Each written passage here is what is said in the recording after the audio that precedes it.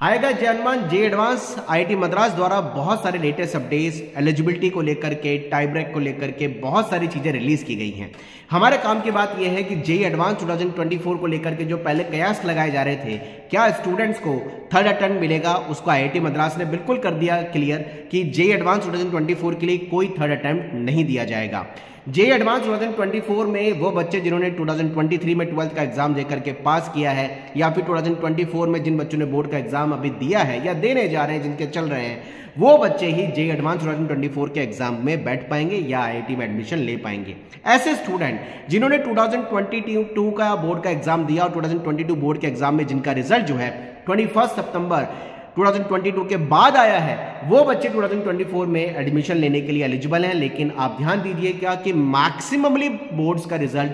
21 सितंबर 2022 ईयर में 21 सितंबर से पहले ही आ गया है। यानी 2022 में वो बच्चे बहुत रेयरली ऐसे होंगे जिनके बोर्ड का रिज़ल्ट 2021 सितंबर के बाद आया है, जो कि बहुत कम बच्चे होंगे, इसलिए मान लीजिए नेग्लेजिबल है तो इसका मतलब है कि थर्ड अटेम्प्ट जे एडवांस में इस साल भी नहीं दिया गया है। पोस्ट कोविड केवल दो ही अटैम्प्ट दो ही साल वाले बच्चे को दिया गया है। खासकर बात यह है, वो बच्चे भी बहुत बड़ी संख्या में है जिनका बोर्ड में 75 परसेंट नहीं है, लेकिन आईआईटी में एडमिशन की एलिजिबिलिटी को इस साल भी जनरल ओबीसी ईडब्ल्यूएस के लिए 75 एससी एसटी के लिए 65 या फिर बोर्ड में category wise top 20 percent eligibility को रखा गया जो कि एनआईटी ट्रिपल आईटी और जीएफटीआई के लिए भी इक्वल यानी कि सेम है। जिन बच्चों ने अभी बोर्ड का इंप्रूवमेंट एग्ज़ाम दिया है, उनके लिए राहत, यानी रिलैक्सेशन की बात यह है कि अगर आप दो साल बोर्ड का एग्ज़ाम दे रहे हैं, यानी आपका 70 परसेंट अगर बोर्ड में नहीं बन पाया, आप इंप्रूवमेंट का एग्ज़ाम दे रहे हैं तो गवर्नमेंट यानी एनटीए या फिर जेई एडवांस का ये कहना है कि दोनों मार्कशीट को सामने रखा जाएगा। दोनों मार्कशीट में से सामने रख करके जिस ईयर में जिस पर्टिकुलर सब्जेक्ट में आपके हायर मार्क्स हैं, उस सब्जेक्ट वाइज हायर मार्क्स को 70 परसेंट की एलिजिबिलिटी या फिर 65 कैटेगरी के लिए 65 परसेंट की एलिजिबिलिटी में काउंट किया जाएगा। यानी अगर आप दो साल इंप्रूवमेंट का एग्ज़ाम दे रहे हैं या फिर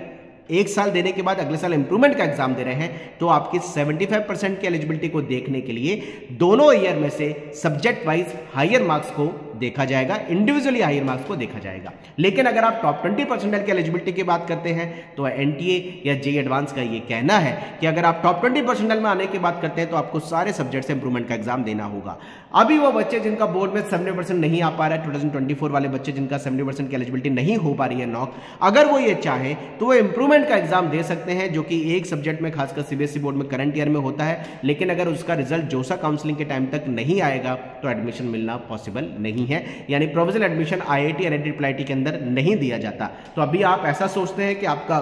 बोर्ड में परसेंटेज नहीं है